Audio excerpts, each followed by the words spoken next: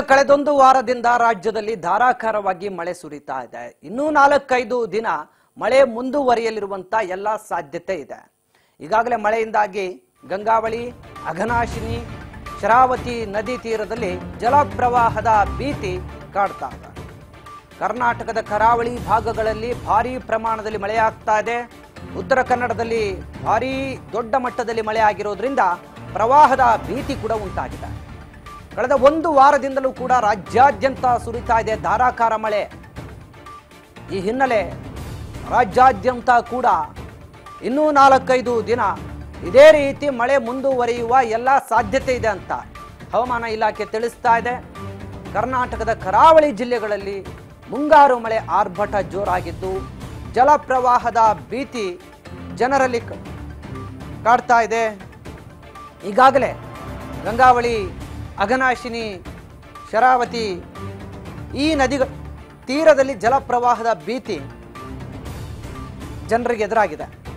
ಜನ ವಸತಿ ಪ್ರದೇಶಗಳಿಗೆ ನೀರು ನುಗ್ಗಿರುವಂಥದ್ದು ಕೂಡ ಕಂಡುಬಂದಿದೆ ಈ ಭಾಗಗಳಿಗೆ ಈಗ ಆರೆಂಜ್ ಅಲರ್ಟ್ ಅನ್ನು ಕೂಡ ಘೋಷಿಸಿದೆ ಹವಾಮಾನ ಇಲಾಖೆ.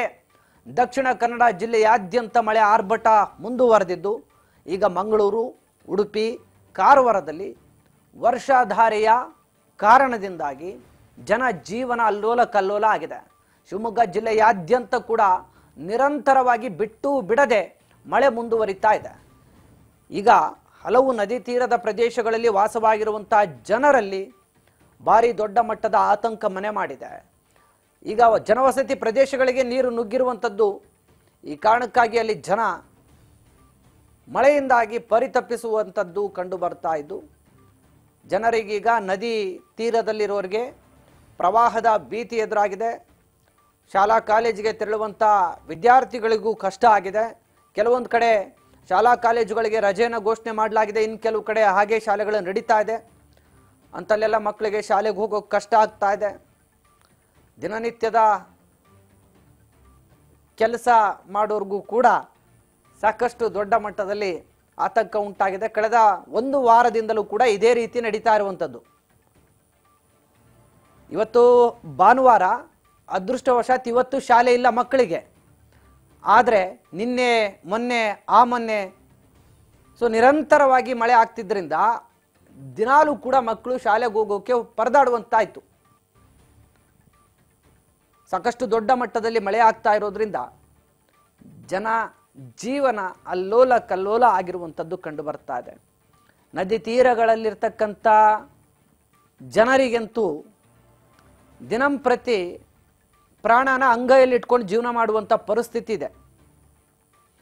ಯಾವಾಗ ಬೇಕಾದರೂ, ಏನು ಬೇಕಾದರೂ ಪ್ರವಾಹ ಆಗುವಂಥದ್ದು, ಜನರಿಗಲ್ಲಿ ಭಯ ಶುರುವಾಗಿದೆ. ಇನ್ನೂ ನಾಲ್ಕೈದು ದಿನ ಹೀಗೆ ಮಳೆ ಮುಂದುವರಿತಾ ಇದೆ. ಈ ಬಗ್ಗೆ ಈಗ ಹವಾಮಾನ ಇಲಾಖೆ ಮುನ್ನೆಚ್ಚರಿಕೆ ಕೊಟ್ಟಿದೆ. ಸೊ ಹೀಗಾಗಿ ಮುಂದೆ ಇನ್ನೂ ನಾಲ್ಕೈದು ದಿನ ಇದೇ ಪ್ರಮಾಣದಲ್ಲಿ ಮಳೆ ಇದ್ದರೆ ಜನ ಭಾರಿ ದೊಡ್ಡ ಮಟ್ಟದ ಪ್ರವಾಹದ ಭೀತಿಯನ್ನು ಎದುರಿಸಬೇಕಾಗತ್ತೆ. ಸೊ ಈ ನಿಟ್ಟಿನಲ್ಲಿ ಈ ನದಿ ದಡಗಳಲ್ಲಿರ್ತಕ್ಕಂಥ ಜನರ ರಕ್ಷಣೆಗೆ ಬೇಕಾಗಿರುವಂಥ ಅಗತ್ಯ ಕ್ರಮವನ್ನು S D R F, N D R F ತಂಡಗಳು ಸಾಕಷ್ಟು ದೊಡ್ಡ ಮಟ್ಟದಲ್ಲಿ ಗಮನ ಹರಿಸಬೇಕಾಗತ್ತೆ.